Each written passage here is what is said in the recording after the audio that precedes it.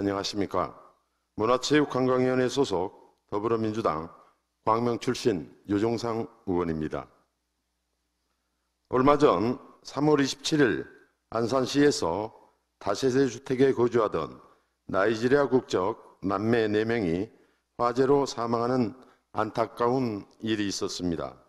또한 2020년 8월 8일 서울 관악구에서 반지하에 살던 일가족 3명이 폭우 침수로 사망한 사고를 다 기억하실 겁니다. 그해 10월 10일 서울 마포구 반지하에서 30대 남성이 현관 옆 주방에서 화재가 발생하여 반대편 화장실 창문으로 탈출을 시도하였으나 고정된 방범 창살 때문에 탈출하지 못하는 사망 사고가 있었습니다. 이 비극적인 사고들의 공통적인 원인은 범죄의 위험으로부터 안전을 지키기 위해 설치하는 방범창 때문이었습니다. 반지하 주택은 집중폭우로 인한 침수 또는 화재 발생 시 현관문으로 탈출이 어려운 경우 창문으로 탈출해야 하지만 반범창으로 탈출이 어려운 실정입니다.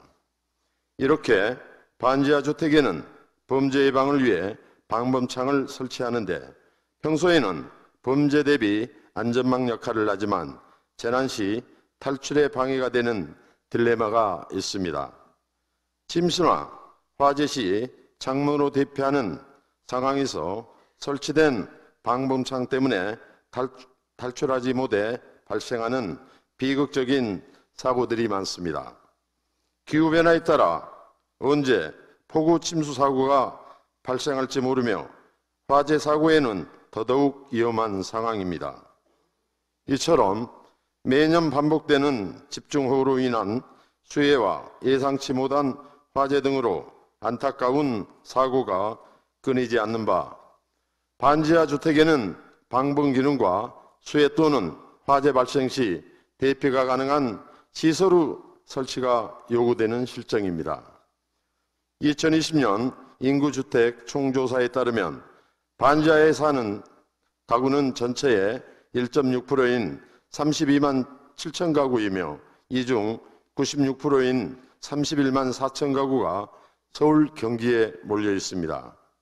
한편 서울시, 인천시 등에서는 반지하 주택을 대상으로 피난과 구조가 가능한 객폐형 반봉창으로 교체하는 사업을 하고 있습니다.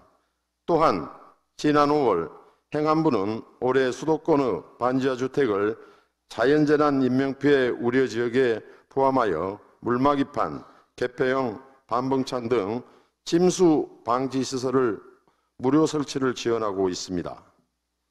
하지만 경기도 내 지역에는 개폐형 방봉창 지원은 포함되지 않고 있으며 경기도가 추진하고 있는 물막이판과 역류 방지 시설 등 침수 방지 시설을 설치하는 사업 또한 부진하다는 기사가 나오고 있습니다. 경기도에 있는 8만 7천 가구의 반지하 주택에서 더 이상 침수로 인한 인명피해는 없어야 합니다. 경기도 차원의 반지하 주택 지원이 필요할 때입니다. 재난빛 안전관리기본법 제4조 지방자치단체는 재난이나 그 밖의 각종 사고로부터 국민의 생명, 신체 및 재산을 보호할 책무를 진다라고 책무를 규정하고 있습니다. 경기도민의 안전을 보장하는 책임은 여기 계신 모든 분들의 당연한 책무라고 생각합니다.